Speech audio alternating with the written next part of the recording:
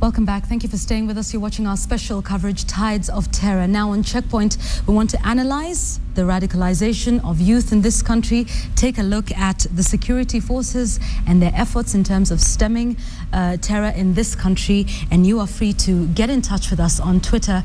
We're using the hashtag tonight tide of terror. You can also send in your text uh, messages to the number 22155.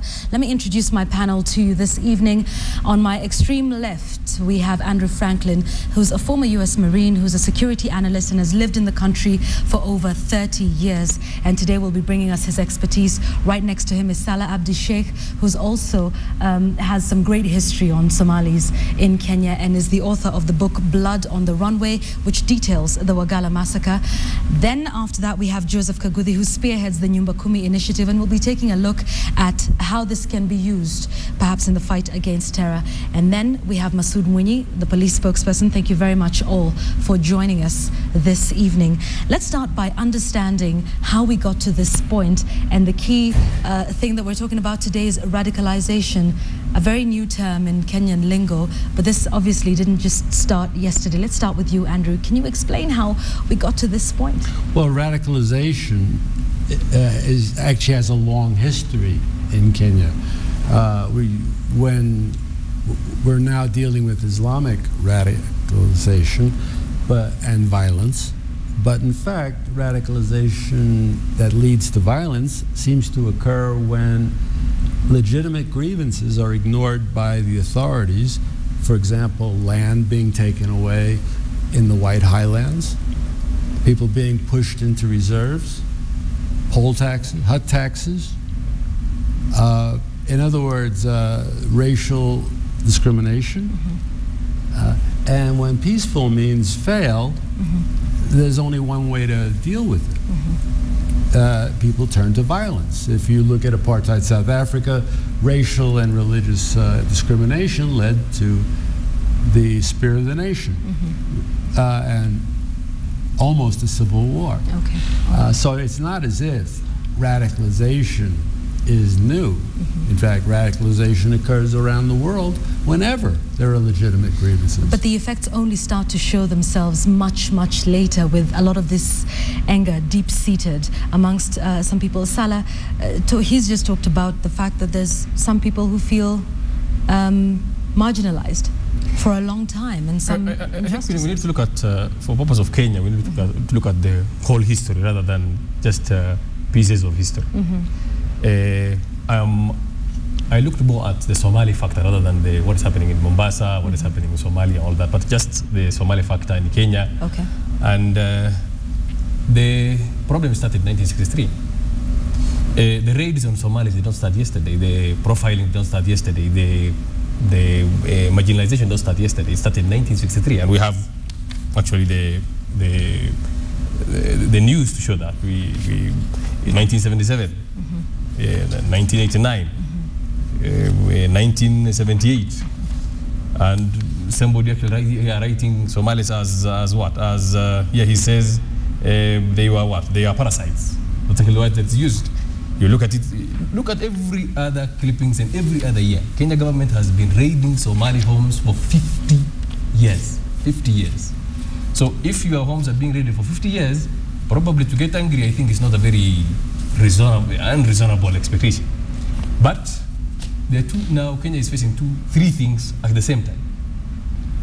The Somali factor, the Islamic uh, extremism that people talk about, and the change in, in technology, media, the access, accessibility to information.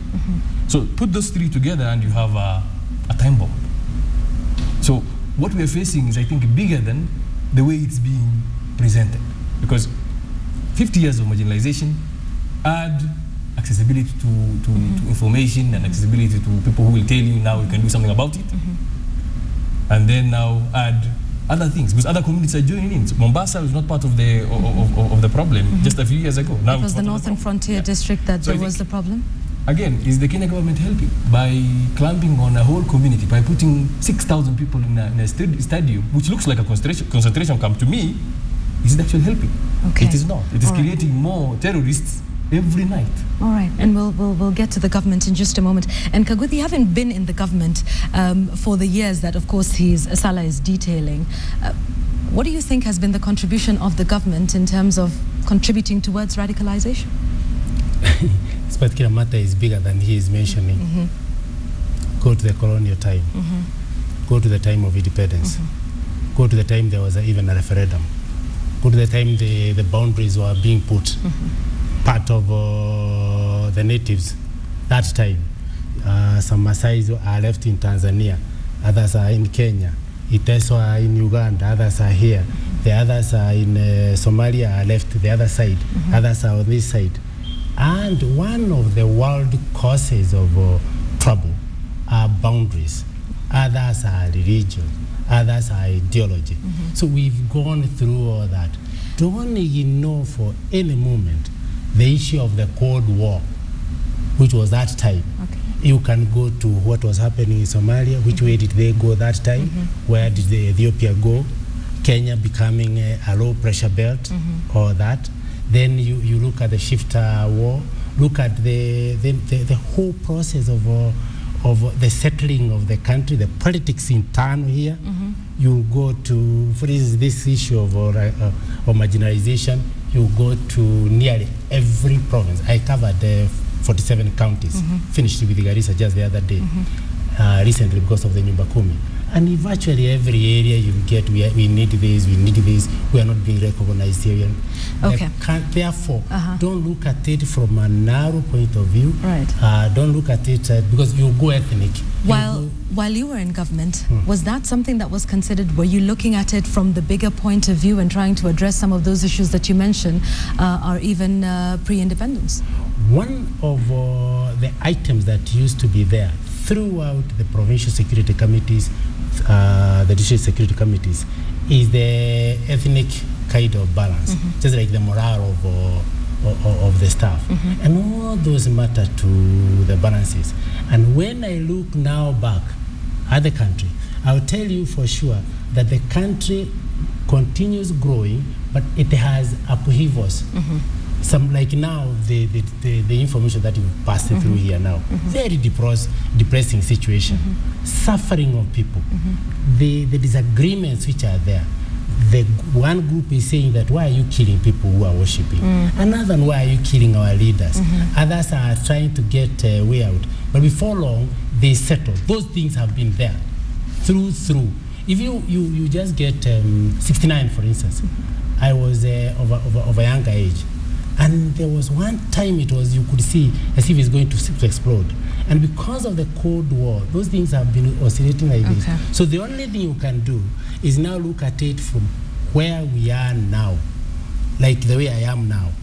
Coming in uh, kidogo to government very very briefly to government to assist the whole system in devolving management of security and Uh-huh. crime, devolving it Devolving to it. the lowest level And Nyumbakumi is, is a solution. Nyumbakumi is one of those solutions, It and we'll get to that in just a moment. But let's bring in the police uh, and, and bring it now to present day. Uh, the operation that's taking place in Eastleigh, there have been complaints about that, about bribery taking place, about some people being required to bribe the policemen in order to get away, and complaints like you hear from uh, Salah and others about how it is being conducted. Uh, thank you. Uh, I don't think that uh, the government is entirely at fault here uh, because when such an operation is conducted, it is normally conducted. One, we must understand that it is conducted in utmost good faith. I don't think that the government will be uh, any happier to vilify uh, its own citizen or her own citizen, if we may so. But again, uh, there are aspects here of security at hand. Who are we after? And how do we get to them? So what is happening right now is that people are being uh, screened, people are being rounded up, but at the end of the day, we must understand that since the operation started, anybody who has been uh, been able to uh, been able to be accounted for, he or she has been set free. You know, we are getting complaints that people are being uh, illegally held in that place, uh, that people are being forced to pay money to go free. But we have got issues here of Kenyans, either of Somali origin or of uh, other ethnic groups, Luyas, Luos, Kikuyus, all manner of people are being arrested and picked to the place. And then, on verification of their documents, they're being released. We have got underage people. They are Kenyans, yes, still of Somali origin, but they are underage. And uh, they have not acquired ID cards or documents. These people are being verified through their parents. They say, well, I am a Kenyan, I'm in school, my parent is so and so. So we call the parents, they come, verify them. Some of them are be- being picked in the streets, they have no Okay. documents, and then they get with them. Eventually, they get released. Masood, many would ask why we got to this point in the first place, that you are now in Eastleigh uh, with several barricades um, right within uh, Eastleigh area itself. Why was this not being done on a systematic basis before? And now, even to quote what uh, the Deputy President said, we would tamwaga police. Uh, previously, uh, remember, we must also understand that Kenya is a country with laws. It has a constitution which guarantees freedom of movement, expression. But not of refugees, Uh, right? Yes, and uh, you know, we would not want a situation where we make Kenya a police state, or uh, rather, we label each and every person a suspect. But now, uh, security has been conducted uh, on a daily basis in order of maybe priority, in order of necessity, because we wouldn't want to scare everybody else Okay. out of this. My question, though, is how did all of these people who, um, if you claim, Yes. um, were not meant to be there in the first place Mm-hmm. and got through our borders, got into the Dadaab refugee camp, and made their way into the city? Many would say we're putting the cart before the horse because these people should not have been allowed to be in Italy in the unfortunate first that, uh, place. Some people are taking advantage of the goodness of Kenyans. Because, for example, I will trust The you. goodness or the bribery? Because No. obviously they wouldn't get here uh, on a clean course, would they? I think uh, to an extent the goodness of Kenyans. The bri- bribery part, if it's there, and we have had complaints, and it is being investigated by the way. If there are any officers who are engaged in this vice right now, these officers are in big, big trouble. But we don't want to say that. We want to use facts. Now, the issue of people coming into Eastleigh, into Mombasa, into Nairobi, uh, and they are not supposed to be in these places. Maybe they're supposed to be in refugee camps. Mm-hmm. They're supposed to be in Kenya, but with documents, either mm-hmm. travel visas or something. Mm-hmm. This now is something we are working on because we know Kenya again is not a country which operates in isolation. We Salah, you don't seem convinced. Yes. Yeah, I, I'm, I'm not actually convinced about that. First of all, the constitution is being repped in the first place. It is here. The constitution so? says if you are if you are arrested, you are taken to court within how many 24 hours? hours. 24 24 hours. How many people do you have for, for, for four days? Mm-hmm. 6,000 people. Mm-hmm. So I think that that that And, that, and that, here's, that an, beats- that here's an beats- interesting that beats question. the- that here's beats an the- interesting No, no, question, though. We've that's a had bit- so many people who've been arrested. Where are they being held? Just a minute, because now the number is even more scary. We don't have 6,000 people there, not even 1,000 people. and I, I, you, you called me in the day, I told you I was there personally. These people are less than 500 there. People This is at Kasarani? Yes, they've Okay. been processed, they've been released. But in addition to what uh, the people who are in Kasarani, Yes. we did hear there's been 400 people who've been uh, taken in Eastleigh today. Mm-hmm. Um, following the Likoni church attack, you will recall the more than 100 youth who were um, arrested. Yes. 49 of them were then charged with loitering, which then many said meant you had no intel? Or they Uh, were arrested No, when an arrest is made, you know there must be justification for that arrest. The officer, you know, he'll have a very big issue trying to prove a case against you in court.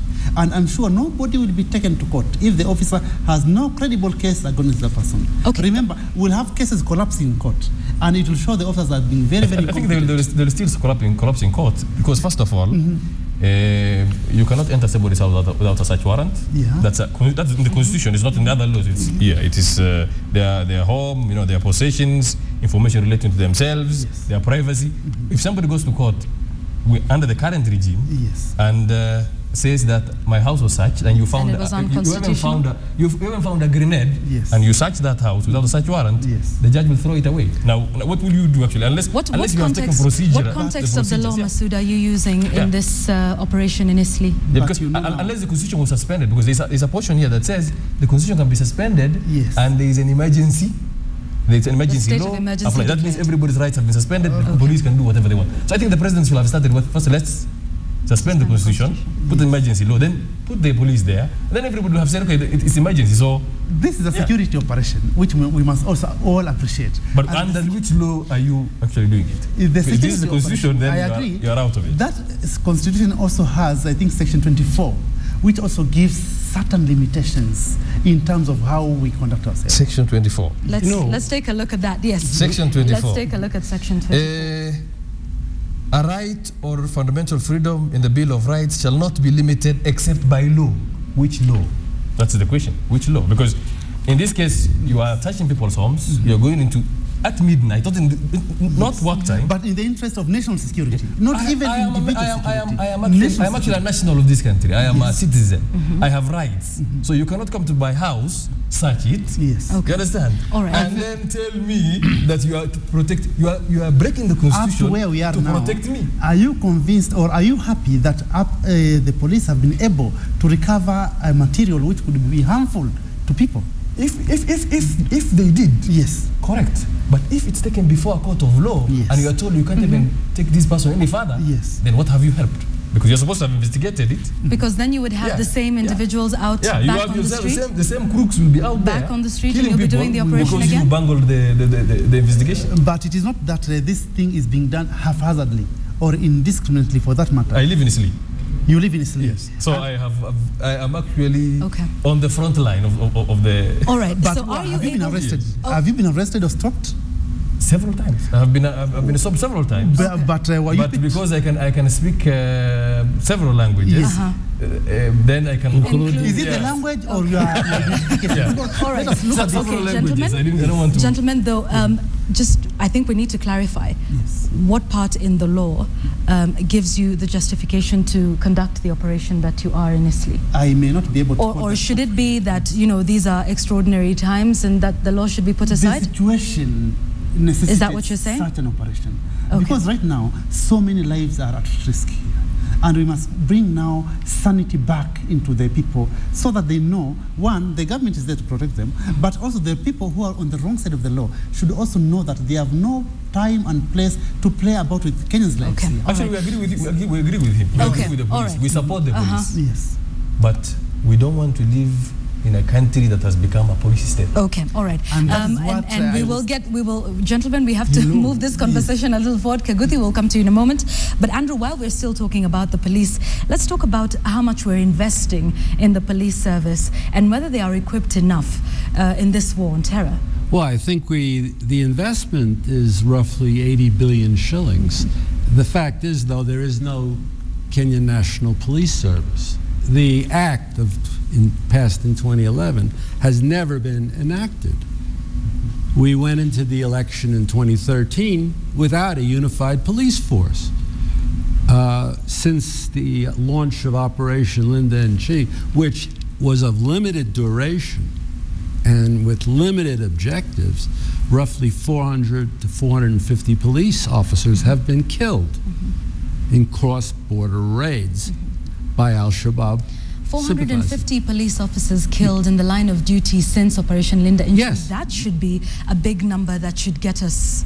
That um, should get. The, the, Yeah. We are focusing now on something going on in Eastleigh, Mm-hmm. where less than two weeks ago, a, a vehicle with military-grade explosives Mm-hmm. was recovered, Yeah. having been driven through Mandera from some Al Shabaab facility Mm-hmm. to all the way to Mombasa. And they're still looking for two, at least two more vehicles of, with military grade explosives. These are no longer fertilizer and fuel oil bombs, such as blew up Asanans or the U.S. Embassy.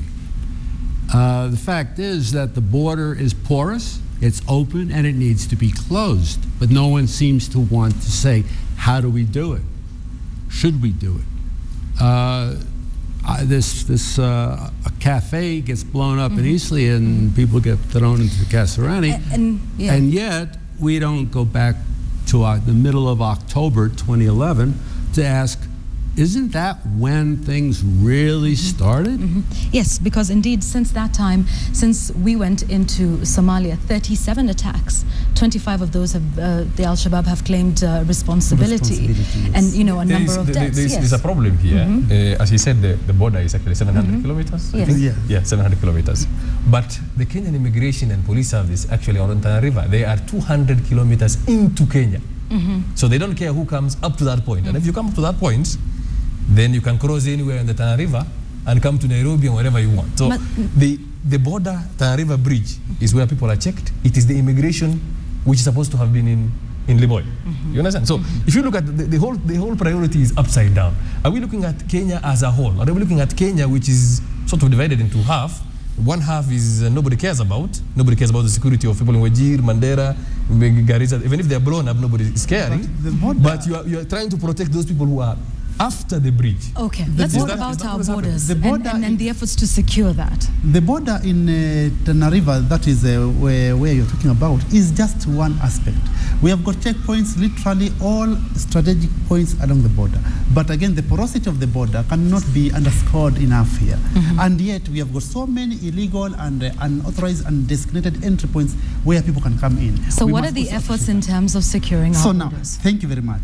Uh, since the IG came into office, he has made a strong case to ensure that he empowers and reinforces the police service. One, through getting a modern and sophisticated equipment. Right now, Such as? right now we need uh, surveillance equipment along the border. Okay. And these are now in the process of being procured.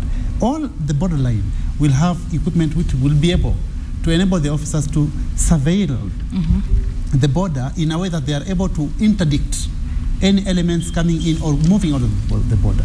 But also the numbers, because equipment on its own will not be enough. we are also working on the numbers, and you have already seen a commitment on the government to increase the number of the officers. We are also working on the point? mobility. Let, let's, the let's have some specifics now, um, because when you take a look at Mandera Point One, Yes. which is uh, you know our border, That's a border, Border point point one. one. Border point one. Yes. how many administration police officers do you have there? We may not give numbers outrightly, but uh, suffice it to say that uh, we have officers who right now are able to contain the situation with the limited They are able to do that. Let me interrupt here. Yes, please. I think you are you. Let's be real. Seven hundred uh, kilometers. Mm-hmm. It is between here and beyond That to Kampala. absolutely. And when you are talking that you are only bringing the immigration Mm-hmm. to check to a one point uh, here, 700 kilometers. You want police officers to be kept all along? No, Not possible. And what you do Uh-huh. is what the, the, this new initiative, Mm-hmm. which you are leaving uh, the stone that the builders refused, ended up being the, the cornerstone. Mm-hmm. I was in Garissa and it was fantastic for me to hear Garissa people leaders telling us that this is what has happened. Every time kuna bomb, kuna bomb, everybody is rounded up. We told the police no more. We as leaders now will take it up. We want to introduce Jua Jirani Yako initiative. You are in a meeting, know the person on the left, know the person on the right, know the one at the, at the front, mm-hmm. know the other one.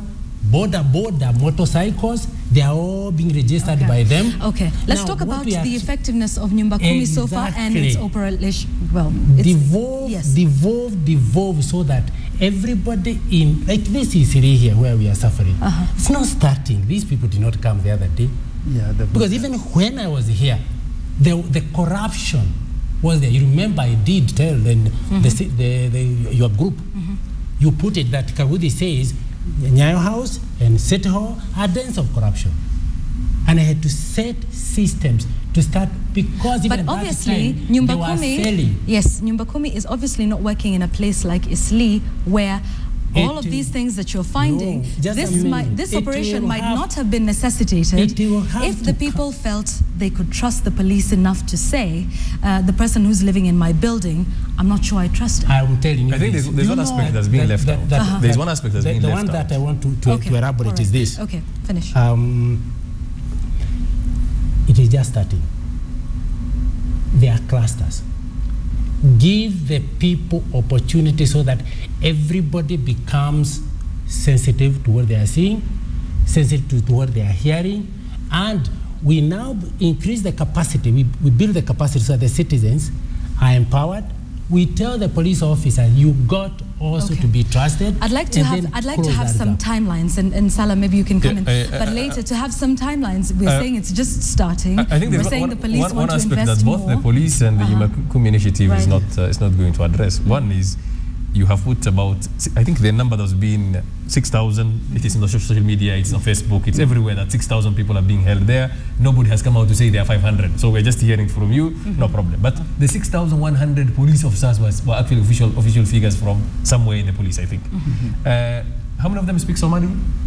That's, uh, that's one thing. Because you are talking, you are, you are, you are going to raid homes that belong to a specific ethnic community that has a specific language in which they communicate That themselves. is true, But so how many however, people? however, Kenyan Salah, Somalis allow me to allow me to ask Yeah, also. how many even though actually- they do, like you say, Yeah. we should have persons that speak uh, Somali amongst Yes. the police force, but should We're not we saying also Somali have people in Eastleigh who speak Kiswahili Swahili. and English, which are the national languages no, of, pro- of, no, of no Kenya? problem. If you want to know intelligence, if you want to know how, what people are thinking, what people are saying, shouldn't you be knowing their language? I'm not saying that they should be Somali police officers. I'm saying that there are so many other people who actually speak the language. The language has then become a very, uh, it's available everywhere. So how many actually police officers do you have on the ground who can speak the language of the people you are, you are, you are looking at? But the people we're looking at should be able to speak Kiswahili, which is the national. Uh, how many, if you go to deep in Nyanza, deep in Nyanza, I've been there. they- they Many of the people don't speak, don't speak at Swahili. all? At all. I have been there. So don't tell We me that. dealing with the that- PC here who was in look at it from charge. Yeah. and was At addressing all. those people through through Yes. in Kiswahili.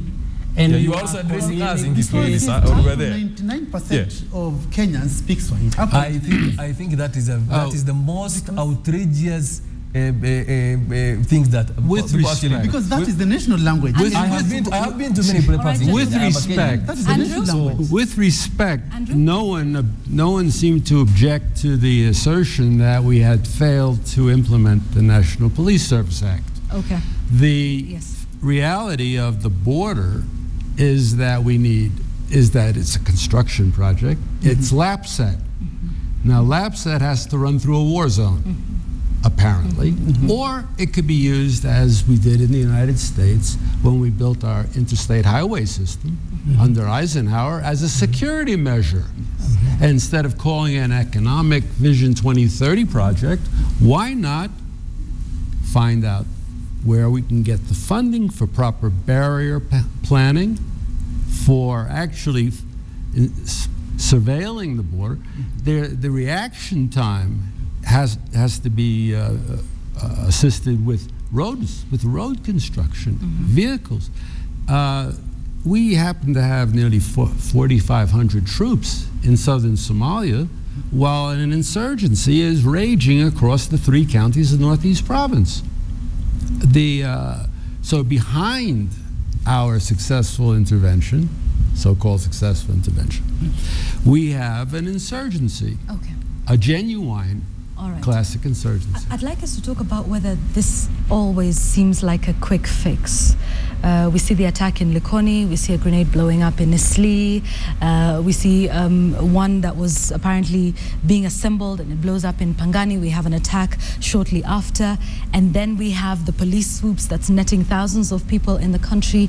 Can we talk about, you know, as probably we come to the close of our discussion about making this more sustainable, about how we can win this fight, about it being a bit more of intelligence gathering.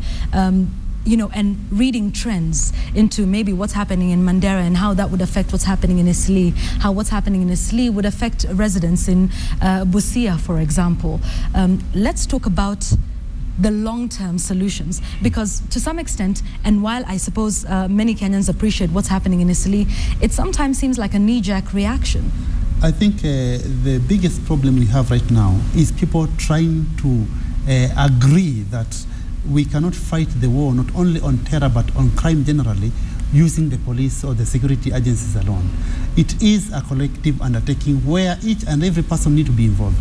Unfortunately, even as the government brings initiatives, community policing, Mbakuma and so on and so forth, people continue saying it won't work simply because there are some people who are comfortable the way things are and they are now taking advantage of the previous problems in the police institution where there were bad relations with the public and so on and so forth. so in your view in your view what is the solution now what will make kenyans feel safer because now it can happen while you're in a matatu it can happen at a bus stop it can happen in mombasa Yvonne, these things are normally assembled where people are. Mm-hmm. They are normally stored where people are. They are normally transported amongst people. The public needs to trust us, give us information. Don't withhold the information deliberately because you know you have got a stake And you give them a reason to trust you. Oh, they surely can start trust us because now they are dealing with a police entity which has changed. Nobody would want to be labeled incompetent, and sure, the police service does not want to be seen to be incompetent or failing. Okay. we are doing our best. Do you also do? Do you also board. have intelligence gathering? I mean, as opposed to asking the residents to come to you and say, "I know what's happening here." There is. Do you have? That's how you see some of these things uh, being uh, interdicted. Okay. Yeah, very quickly for- before we move on to the next one, uh, very quickly, Masood, Yes. is there a shoot to kill order? Nelson Marwa said it. He's the county commander of Mombasa. Is there a shoot to kill order? The police, rather the law does not allow uh, killing. We are allowed as police officers to use arms in extreme dire conditions and not to kill, to immobilize, to effect arrest. So there is no shoot to kill order. There is no shoot to kill order. Kaguthi? the solution get every citizen every leader to start being involved in the securing of the area they are in we need to change a mindset within our police uh, service the officers. The syllabus got to be revisited until it comes to be that they are service. The citizens must be helped as a client to appreciate the police, the law enforcement agencies, and the definition of policing is that proactive system, which happened before even uh, we got our, even the colonial administration came, whereby is a proactive system process where they secure their laws, their order for social and economic order. Now, Quickly give us a status update on You- Nyumba Kumi and when a Kenyan can start to feel its effects. Let's put it this way. The visits that we had with the County Security and Intelligence Committee, all of them, we finished uh, last Thursday in, uh, in Garissa. We are standardizing the way they form those clusters. Take it from me. Let the peace committees stay. There are traditional customary systems. There are others which have been set. What we don't want is vigilantes and allow each cluster and their leaders. So when, when is this going to happen? Is it Oh. already happening? Because it's- there's many already- Kenyans who, No, who might say, I'm not feeling Nyumba Kumi. wherever you are staying, wherever you are staying, you, you have a gated community or you have a neighborhood association.